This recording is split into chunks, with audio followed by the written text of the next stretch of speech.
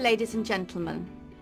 My name is Dr Carly Seddon and I am the Dean of the School of Computing and Academic Studies at the British Columbia Institute of Technology, or BCIT for short.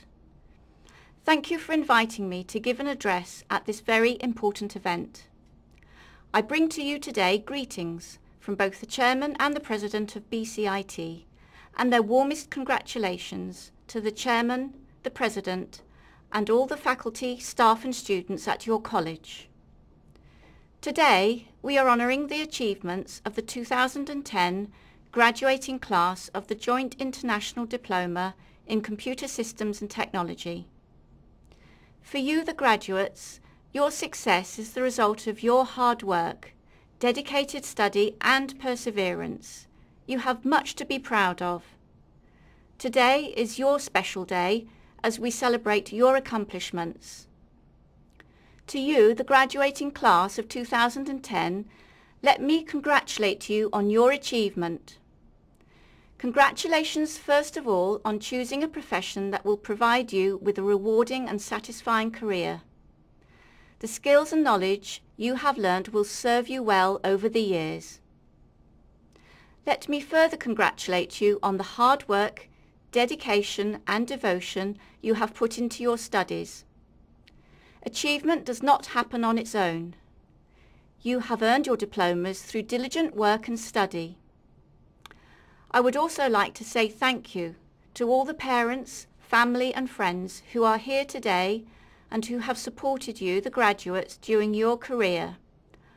On behalf of the graduating class, I salute all who have sustained and championed the students graduating today. We are in the age of lifelong learning. Technology changes every day and your future learning must keep up with it. An important part of your education, therefore, and perhaps the most important part, is to learn how to learn, so you can keep your knowledge current and applicable. I hope every one of you will consider continuing your education either in Korea or perhaps one day in Canada at BCIT.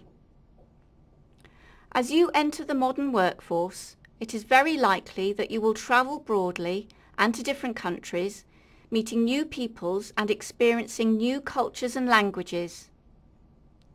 Your ability to work with people from diverse backgrounds is just as important as your technical job skills. This brings me to reflect on why this graduation ceremony is so important. In English, the word used to describe the graduation ceremony of the university or college is convocation. This means a gathering of people for an important reason.